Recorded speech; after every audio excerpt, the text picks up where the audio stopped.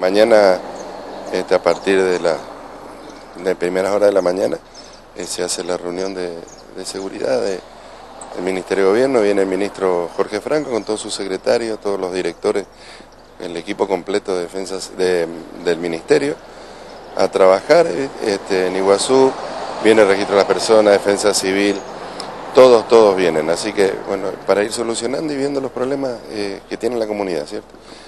¿Qué es lo que se busca a través de este trabajo exhaustivo que van a hacer? Bueno, es este, tratar de... Este, se trata de la parte de seguridad, ¿cierto?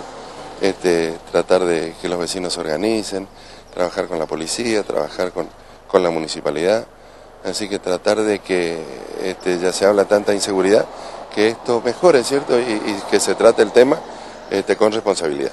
Tiene mucho que ver con esto de lo que se está haciendo ahora muy a menudo en los distintos barrios, el foro de seguridad, trabajar en armonía, en comunidad con la policía y con las distintas autoridades. Exactamente, sí. Eh, en este momento se está, casi en toda la provincia se está trabajando, ya hubo distintas reuniones en distintas también ciudades de, la provincia, hoy le toca a Iguazú, y trabajar también con, todos, los, eh, todos los vecinos, la colaboración, la colaboración de los vecinos y trabajar con todas las fuerzas, este, sea policía, gendarmería, este, prefectura y nosotros en nuestro caso, en la parte de defensa civil, eh, ya Iguazú tiene conformada su Junta Municipal de Defensa Civil, eh, ya la tiene conformada, eh, fue uno de los primeros municipios que, conformó su Junta Municipal, hubo cambios de autoridades, este, así que bueno, la venimos a visitar, venimos a organizar, este, charlar con ellos y organizarte, ¿cierto? Cuando, y hay que estar preparado cuando pasa algo, ¿cierto?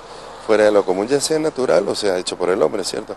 Que está preparado para, la contingencia y para trabajar con la gente que a veces este, eh, sale damnificada, ¿cierto? Nosotros el año antepasado estuvimos ya cuando se había eh, inundado la Antoñica, cuando ya habíamos estado, ¿cierto? Así que, bueno, organizar, trabajar y creo que en forma organizada se puede trabajar en forma rápida y ayudar más rápida a la gente.